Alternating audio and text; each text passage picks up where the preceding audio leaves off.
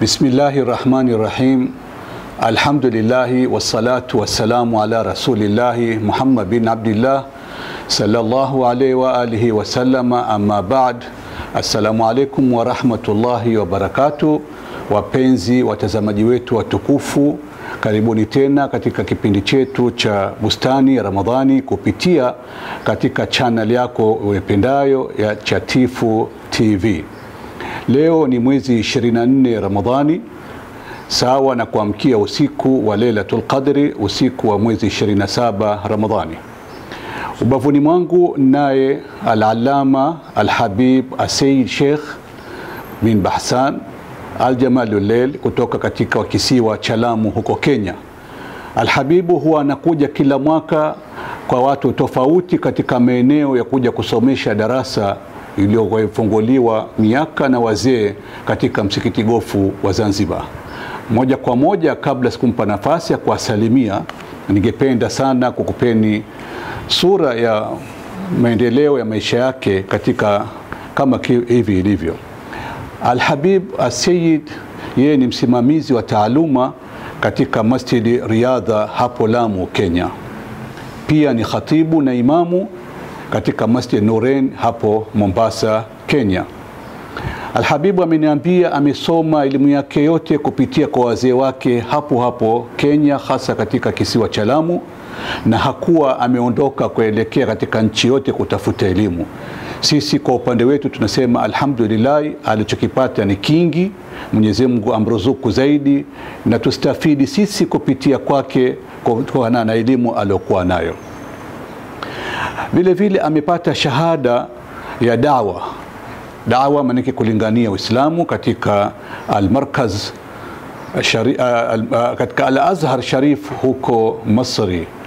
Pamoja na hayo amejikita zaidi sasa kutunga vitabu mbalimbali vya lugha ya Kiarabu na tayari ameshachapisha vitabu viwili ambavyo viko njiani vinavyotoka katika maeneo vinavyouzwa.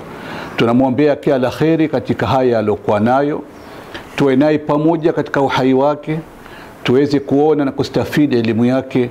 Na kwa niaba ya uongozi wa msikiti Gofu, ningependa kumwambia sana Asayid Bahsani kwamba karibu Zanzibar na karibu utusaidie kilichokuwa tunacho, lakini moja kwa moja nikupe nafasi Alhabib kuwasalimu mbele ya luninga yetu wapenzi watazamaji wetu ambao wako tayari kusikiliza kutoka kwako. Assalamu alaikum warahmatullahi wabarakatuh. Waalaikum salam warahmatullahi wabarakatu. wa TV Tifo, tawamkia maamkizi ya Uislamu na ndiyo haya ambayo tumeyatanguliza. Kabla tuna wajibu wa kumshukuru Mwenyezi Mungu Subhanahu wa Ta'ala, kwa sababu ndiye anastahiki shukurani, yeye kutuafikia kwanza tukawa ni Waislamu, kisha tukaweza kutembeleana, tukaweza kujuana katika mwezi mtukufu wa Ramadhani. Lakini Mwenyezi Mungu Subhanahu wa Ta'ala, zile shukurani zake amezipa nafasi pia watu tushukuriane na tutambuane.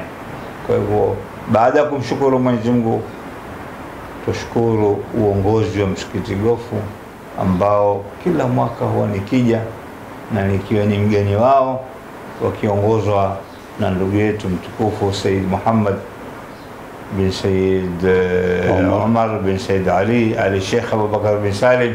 Hili ndilo jina lake maarufu ambalo lajulikana.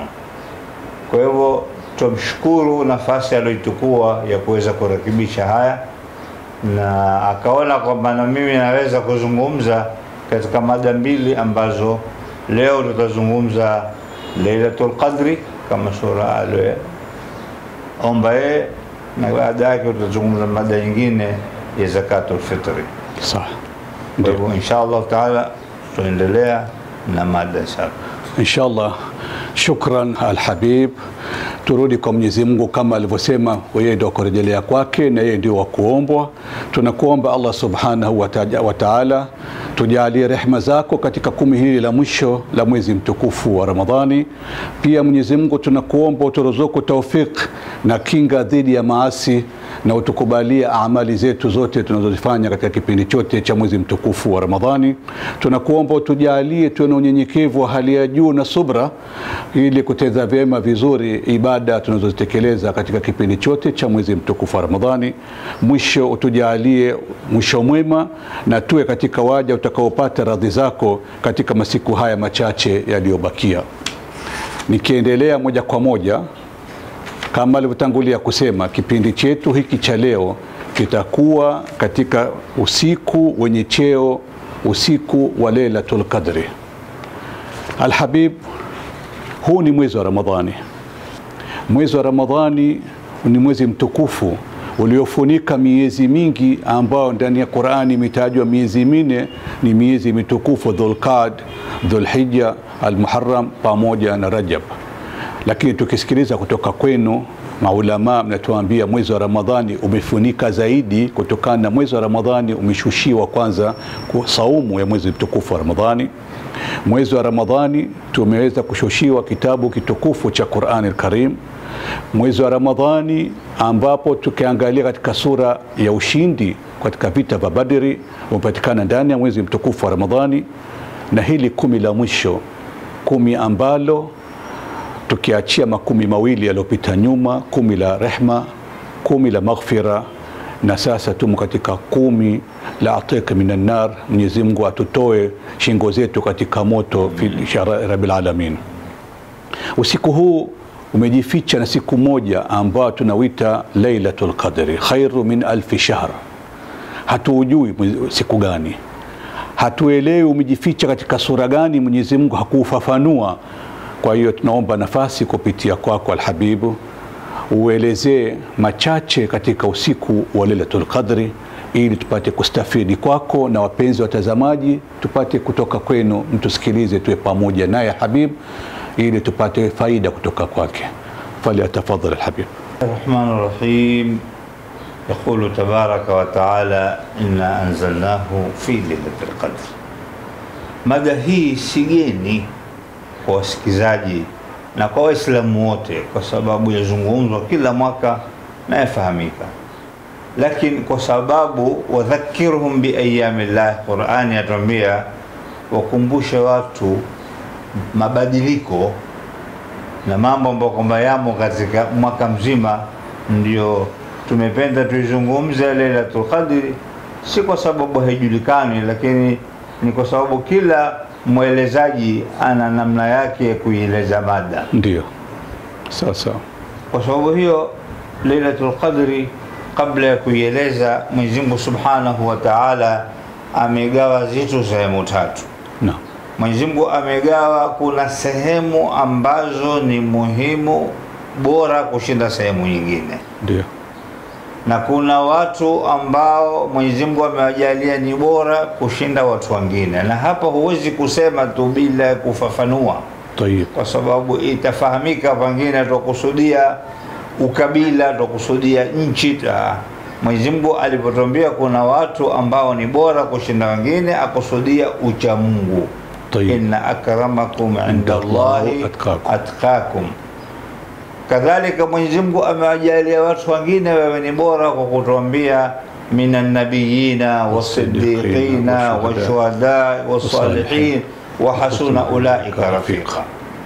Mwenyezi Mungu alipojalia sehemu zikawa ni bora nyingine kushinda sehemu nyingine, ni pale alipoijalia Makka, akaijalia Madina, akaijalia Baitul Muqaddas, na hizi zimethubutu utukufu wake kwa nasi ya Qur'ani na kwa hadithi za Mtume sallallahu alaihi wasallam. Allahumma salli wa sallim alayhi. Lakini haina maana kwamba ikiwa kuna sehemu nyingine zilizopitiwa na watu watukufu zilotokea mambo matukufu kwamba hazitokuwa na ubora, kwa sababu Qur'ani yakubali kitu kiasi, na hii kiasi yakubalika katika sharia. Uislamu wapelekwa na mambo manne, hata kwamba sisi tumezoea sana kwamba Qur'ani, Uislamu wapelekwa na Qur'ani na hadithi, lakini baada ya Qur'ani na hadithi kuna kitu ijma, mambo kwamba hayakutajika ndani ya Qurani yametokea kwa ulimwengu wetu huu wa sasa. Ulama wakakubali, wakakaa, wakatoa uamuzi katika jambo kama lile. Kuna kitu qiyas, kitu hiki kimekuwa hakifai katika Uislamu kwa sababu kadha wa kadha, basi na hiki kingine pia nacho huwa hakifai kulingana na kile ambacho kimekuwa. Kwa mfano, sisi tumeambiwa tembo khamri halifai. Sasa ni khamri tu ndio haifai, na kila ambacho kitafanana na khamri chalewesha, chapoteza wakati, chapoteza afya, chapoteza mali, kitakuwa nacho hakifai, kwa sababu ni kiasi ya khamri ambayo kwamba imeambiwa wazi wazi haifai. Kwa hivyo katika Qur'ani kuna katika Uislamu kuna Qur'ani na hadithi na ijma'i na qiyas. Sasa ikiwa sehemu fulani Mwenyezi Mungu Subhanahu wa Ta'ala amezitukuza na kuzifanya ni sehemu tukufu kwa sababu ya kupitiwa tu na watu fulani au kwa sababu Mwenyezi Mungu tu ametaka, bila shaka na sehemu nyingine nazo zafaa ziwe tukufu, kwa sababu utaona katika Qur'ani kuna sehemu ambayo mitumi wenyewe walisimama wakaomba kwa kuona maajabu yaliyotokea. Tayib. Kwa mfano Sayyidatuna Maryam, Sayyidatuna Maryam mamake Nabii Isa ilikuwa akilewa akilelewa na Sayyidina Zakaria. Sayyidina Zakaria ni mtumi. Kila Sayyidina Zakaria akiingia kwenye chumba chake aona matunda na chakula ambacho hakijui chatoka wapi, mpaka akawa amuuliza Sayyidatna Maryam, anna laki hadha, chakula hiki chatoka wapi? Sayyidatina Maryam amwambia, inna Allaha yarzuqu man yashau bighairi hisab, Mwenyezi Mungu anamruzuku anayemtaka pasi na hisabu, qul huwa min indillah. Hapa Nabii Zakaria alikuwa ana haja sana apate mtoto. Na akiomba siku nyingi, lakini alipoona mambo kama haya na haya yaitwa karama, sababu Sayyidatina Maryam hakuwa mtumi. Na mambo ya, ya, ya kiaina namna hii huambiwa ni karama kwa mtu ambaye kwamba si mtumi, na huambiwa ni miujiza kwa mtu ambaye ni mtumi. Saidina Zakaria ni mtumi, lakini alipoona hapa mahala pana siri, ndio Qur'ani ikatuambia hunalika daa Zakaria rabba, hapo ndipo Zakaria naye akamwomba mola wake, ima ni hapo au ni wakati huo. Sasa ikiwa Nabii Zakaria aliomba kwa sababu ya kuona mambo aliyoyapata Sayyidatina Maryam, bila shaka pale mahala pana utukufu. Ahlul Kahfi walizikwa mahala fulani, ikawa wale ambao kwamba wao wamewazika wakajenga msikiti kwa sababu ya ukumbusho, bila shaka pana utukufu. Sasa Mwenyezi Mungu Subhanahu wa Ta'ala, ikiwa amewajalia watu fulani wana utukufu, sehemu fulani zina utukufu, kadhalika kuna na nyakati fulani zina utukufu ambao huwa ukishinda nyakati nyingine na ndio kaona katika Qur'ani yatuambia inna iddata shuhuri inda Allahi 12 shahran, miezi kwa Mwenyezi Mungu ni kumi na mbili. Kisha miezi kumi na mbili ikatajwa miezi mine ambayo ni mitukufu kushinda miezi mingine, nayo ni mfungo pili Dhulqaada, mfungo tatu Dhulhijja na Muharram na Rajab. Hizi ni miezi mitukufu katika Uislamu ya kubalika, hata mpaka kesho. Watu hawafai kupigana jihadi katika miezi kama hii, kwa sababu Uislamu ni dini ya amani, ni dini ya usalama, ni dini haitaki vita. Ikatengwa miezi fulani watu wasigombane. Sasa haiwi kwamba ni miezi minne tu ndio mitukufu. Mwenyezi Mungu Subhanahu wa Ta'ala akampa Mtume Muhammad sallallahu alaihi wasallam mwezi wa Ramadhani, na Mtume akauita mwezi wa Ramadhani ni sayyidu shuhur, bwana wa miezi. Katika mwezi wa Ramadhani kumegawanyika, kuna kumi hili ambalo limemalizika, kumi la rahma, na kuna kumi la maghfira limepita, tukitaraji Mwenyezi Mungu ameturahamu katika kumi la mwanzo na amesamehe dhambi zetu katika Amin. kumi la pili Amin ya Rabbi. na atuwapushe na moto katika kumi hili la mwisho. Tayib. Katika haya makumi matatu kuna na usiku pia waitwa Lailatul Qadr, ambapo kwamba usiku wenyewe washinda kama sura utakao kueleza, Lailatul Qadr khairun min alfi shahr. Katika mwezi wa Ramadhani kuna hili al-ashru al-awakhir, kumi la mwisho ambalo Mtume sallallahu alaihi wasallam ilikuwa akijifunga na akiondoka nyumbani na akiwaamsha wake zake ili wawe na ibada na yeye Mtume sallallahu alaihi wasallam, akituambia Mtume, itafuteni Lailatul Qadri katika al-ashr al-awakhir, kumi la mwisho hili ambalo limeanza kuingia leo. Ni tarehe 24 tupambukia tarehe 25 Tayib. ambapo kwa tarajio Lailatul Qadri kwa kulingana na mafundisho ya Mtume Muhammad kwamba itafuteni Lailatul Qadri katika masiku ya witri. Masiku ya witri ni kuanzia taban, kuanzia mwanzo nusu ya mwezi, lakini katika ashru al-awakhir, kumi la mwisho imethubutu zaidi, usiku wa 21 usiku wa 23 usiku kama wa leo wa 25 usiku wa 27 yatarajiwe usiku wa 29 yatarajiwe Lailatul Qadr. Lailatul Qadr ni kitu gani? Usiku wenye cheo. Mtume Muhammad sallallahu alaihi wasallam katika kusoma kwake na habari aliokuwa akipewa na Jibril, aliambiwa katika Banu Israil kulikuwa na mmoja Mwenyezi Mungu alimpa nafasi akawa afanya ibada ya miezi alfu. Sasa Mtume Muhammad sallallahu alaihi wasallam ikawa atamani nafasi ile ije kwetu sisi umma wake. Na hii ni katika rahma aliokuwa nayo Mtume Muhammad sallallahu alaihi wasallam. La kila kheri isiwe ni yake yeye tu, kila kheri pia iwafinike umma wake.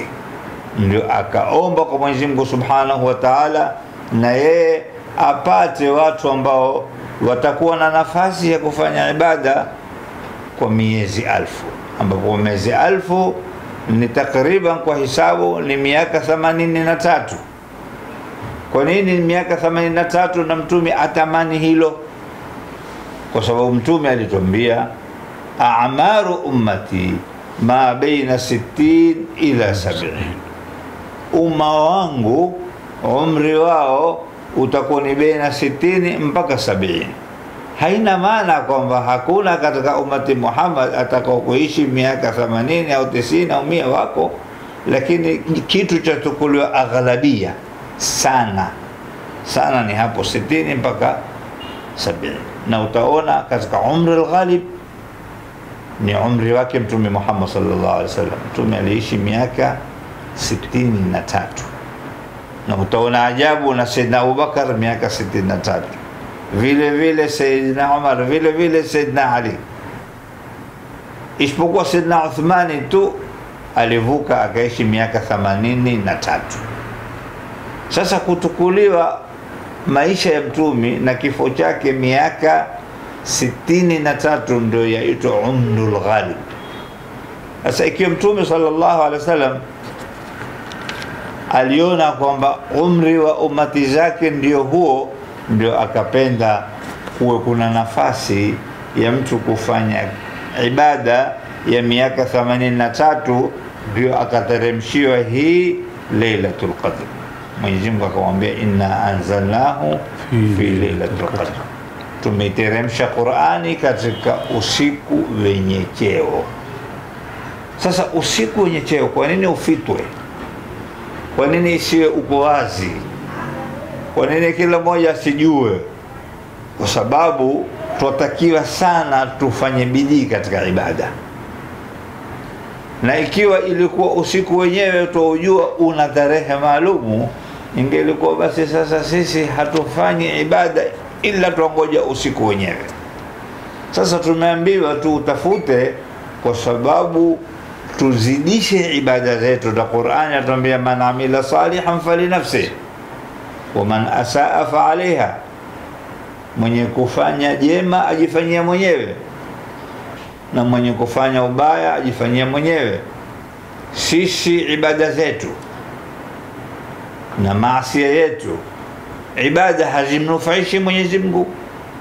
Wala maasia yetu hayamdhuru mwenyezi mungu. Bali mwenyezi mungu atuambia katika hadithi lqudsi na hadithi lqudsi ni maneno ya mwenyezi mungu tofauti tu kwamba yatafautiana na qurani kwa mambo mengi ambapo hii si mada yake kwa leo. Lakini katika hadithi lqudsi mwenyezi mungu atuambia ya ibadi enyi waja wangu inni ma khalaqtukum liastakthira bikum min qilla. Mimi sikuwaumba nyinyi kwa sababu yataka mimi munisaidie ni, ni mchache. Au mimi nataka msaada kwenu wala liastanisa bikum min wahsha. Wala sikuwaumba kwa sababu nataka kujipumbaza. Wala liastaina bikum ala amrin ajaztu anhu wala sikuwaumba kwa jambo ambalo nataka munisaidie. Wala lidafi madhara sikuwaumba kwa sababu muniondolee midhara. Wala lijalbi manfaa. Wala sikuwaumba munipe nafuu wainama khalaqtukum nimewaumba litabuduni tawilan muniabudu kwa muda mrefu watadhkuruni kathiran munitaje sana watusabihuni bukratan wa asila, na munitakase jioni na asubuhi. Kuna maneno mawili umenifilisi katika kutaka nikuulize kwamba pana siri gani au kuna siku maalumu ya Lailatul Qadri, lakini umetuambia ni masiku yaliyotayarishwa na Mtume Muhammad sallallahu alaihi wasallam katika witri wa 21, 23 na kama huwa 25, 27 na 29. Umejibu vizuri na kwa faida ya watazamaji wetu, lakini vile vile nikataka kujua kwa nini pamefanywa usiri mkubwa kwa siku hii kwamba haikufunguliwa? Ukalijibu vyema vile vile kwamba tungelikuwa tumejipwetesha zaidi Waislamu tukajiona kwamba hatuwezi kufanya tena ibada kwa sababu tunaijua siku maalumu tuliotakiwa. Nikuulize swala moja, wengi wanafahamu Lailatul Qadri ni nyota ya jaha. Ni nyota kubwa. Ukiamka usiku ukikutana nayo, ndio uiombe kupitia kwa rehma za Allah subhanahu wa ta'ala. Je, pana ushahidi gani kusema ni nyota au ni usiku uliojificha ili watu watende ibada zaidi? Na ibada gani zinazomfanya mtu kujikurubisha kwa Allah subhanahu wa ta'ala ili kukaribia kupata hiyo usiku uliojificha, kupata kuondokana na kuepushwa na moto inshallah. hatuna kitu ambacho sisi toweza kukitegemea katika kufasiri au kueleza zaidi ya Qur'an. Naam. Na Qur'an inatuambia Lailatul Qadr, usiku wa cheo. Ni maana kwamba usiku wenyewe ni kuanzia baada ya kufuturu mpaka matla alfajiri, kama sura ambayo imeelezwa katika Qurani. Tayib. Sasa kwamba ni nyota na mwangaza na nuru, yale ni kwa wenye macho. Allahu akbar, na hilo la kubalika. Kwa sababu Qur'ani yatuambia tanazzalu lmalaikatu waruhu fiha, wateremka malaika na Jibrili yuko ndani. Salamun hiya, ni amani. Wao wakitoa salamu zikawafikia wanadamu. Sasa mwenye mashikio na mwenye mato ayaona yale na aona nuru na aona mwangaza. Hilo yategemea utukufu wa mwanadamu na uchamungu wake. Lakini Lailatul Qadr ni usiku mzima, ukafanya jema lolote basi khairu min alfi shahr na ukafanya baya lolote usiku mzima na khairu min alfi shahr yale masala ya kuona nuru na mwangaza na malaika Mwenyezi Mungu atupe sisi macho na mashikio ya kuweza kusikia hiyo salamu nia lakini ni Lailatul Qadri. Imefitwa kwa sababu gani? Kwa sababu kama ilofitwa saatul ijaba. Siku ya juma hajulikani iko wakati gani ikafichwa ismullahi al-azam jina la Mwenyezi Mungu ambalo ukiomba kwa jina hilo Mwenyezi Mungu akutilia kabuli. ndo. Ndio ikafichwa Lailatul Qadr, tuitafute kwa sababu Mwenyezi Mungu aweza kututia katika rahma yake bila ya kutafuta Lailatul Qadr, lakini yataka na bin adamu mwenyewe ajisukume. Ndo ikaja walladhina jahadu fina lanahdiyanahum subulana, wale wenye kujitahidi na sisi tutawasukuma, kwa sababu sio basi ukae tu wewe ungoje Lailatul Qadr. Tafuta toka Ramadhani, jaribu kufanya ibada, tahajjud, qiyamul layl, bali kwa hadithi yasema mwenye kuswali alfajiri na swala ya isha katika Ramadhani mzima, basi huyo ameipata Lailatul Qadr bihadhin wafir, tena kwa kiasi kikubwa lakini ukiipata yenyewe Lailatul Qadri bila shaka huwa umefaulu zaidi, na imefitwa katika masiku haya kusudi tufanye bidii, na ulama wamejaribu kuzifasiri aya za Qur'ani wakaweza kuona kwamba usiku fulani katika masiku haya witri ndiyo yatarajiwa zaidi Lailatul Qadri, na bila shaka tafsiri zao zatoka katika Qur'ani, hazitoki katika maoni yao. Ndo Sayyidina Abdullah bin Abbas ambaye aitwa hibrul umma asema Lailatul Qadri zaidi yatarajiwa katika usiku wa 27. Hii ni maoni yake, si maoni ya Mtume sallallahu alaihi wasallam kwa kutukua Qur'ani akaifasiri alipotwambia Lailatul Qadri. Neno Lailatul Qadri limekuja mara tatu katika sura hii, inna anzalnahu fi Lailatul Qadr wama adraka ma Lailatul Qadr, ليلة Lailatul Qadr. Sasa mara tatu, kila neno Lailatul Qadri lina harufu tisa.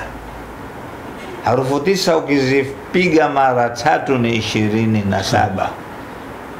Kisha akarudi Sayyidina Abdullah bin Abbas akatwambia kwamba lao wahisabu wewe mwanzo wa sura inna anzalnahu fi lailatil qadri wama, mpaka ukasikilia mwisho, basi lile neno liliomo katika Qur'ani salamun hiya, hii hiya ni katika neno la 27.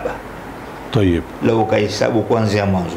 Sasa tukipata lailatul qadri imekuja mara tatu. Tayeb, na kila neno lailatul qadri lina harufu tisa, ni 27 ukihesabu kuanzia mwanzo inna anzalnahu kama vile ambao kwamba nijaribu kuhesabu ukisikilia hiya ni 27 kwa hivyo watarajiwa yatarajiwa sana katika mwezi tarehe 27 na si lazima iwe ni 27 yaweza kwamba ni nyuma ni mbele lakini hii ni ijtihadi ya wenye kufasiri kuturahisishia na kuionyesha Qur'ani namna gani ambayo ina uzito katika kueleweka. Alhamdulillah, Sayyid Sheikh Bahsani aljamalulel ni kushukuru sana sana, na tuseme kwa wapenzi watazamaji wetu, tumeweza kustafid na kuelewa nini maana ya Lailatul Qadri kwa nini tujipinde katika masiku matukufu ya kuanzia 21 mpaka 27 na 29, na kwa nini imebashiriwa kwa maoni ya maulamaa, nini maana ya tafsiri kama alivyoeleza Alhabib. Tumefahamu yote kwa mahesabu tuliokuwa tunayo. Wapenzi watazamaji wetu, huu ni wakati wa mavuno, mwezi unaondoka Ramadhani, hatujui tutakwenda wangapi katika mwakani tulikuwa wangapi ndani ya mwezi wa Ramadhani na wangapi tumeshawasindikiza? Tulikuwa wangapi wazima na wangapi wako vitandani? Wangapi wamezaliwa na wangapi wameondoka katika dunia? Hatuna budi kurejea kwa Mwenyezi Mungu Subhanahu wa Ta'ala na kumuomba Mwenyezi Mungu atupe taufik na kutupa rehema zake na maghfira yetu tuliokuwa tukimwomba, ili kutambua kwamba huu ni mwezi ulioshuka Qur'ani, na Mwenyezi Mungu atujalie minalladhina amanu astamiuna ahsan, tufaidike na tusame madhambi yetu bila ya kuwasahau wazee wetu waliotulea katika mitaa na katika nyumba zetu inshallah. Nimalizie kwa kumwomba Said atutilie fatiha ya kufunga kikao chetu hiki inshallah mpaka mara nyingine tukijaliwa. نية القبول وقضاء كل سؤال وإلى حضرة النبي محمد المصطفى الفاتحة آمين بسم الله الرحمن الرحيم الحمد لله رب العالمين الرحمن الرحيم مالك يوم الدين إياك نعبد وإياك نستعين اهدنا الصراط المستقيم صراط الذين عمل اللهم بسم الله الرحمن الرحيم. الحمد لله رب العالمين والصلاة والسلام على رسول الله صلى الله عليه وآله وسلم. ربنا تقبل منا إنك أنت السميع العليم. وتب علينا إنك أنت التواب الرحيم. اللهم فارق الفرقان ومنزل القرآن بالحكمة والبيان. بارك اللهم لنا في شهر رمضان. اللهم عد علينا سنين بعد سنين وأعواما بعد أعوام. لا ما تحب وترضى يا ذا الجلال والإكرام. اللهم لك في هذه ليلة وكل ليلة من ليالي شهر رمضان أتقاء وتلقاء ونقضاء وأسراء وأجراء من النار. اللهم أعط رقابنا ورقاب آبائنا وأمهاتنا وإخواننا وأزواجنا وذرياتنا من النار. برحمتك يا أرحم الراحمين. وصلى الله على سيدنا محمد وعلى آله وصحبه وسلم. والحمد لله رب العالمين. السلام عليكم ورحمة الله وبركاته.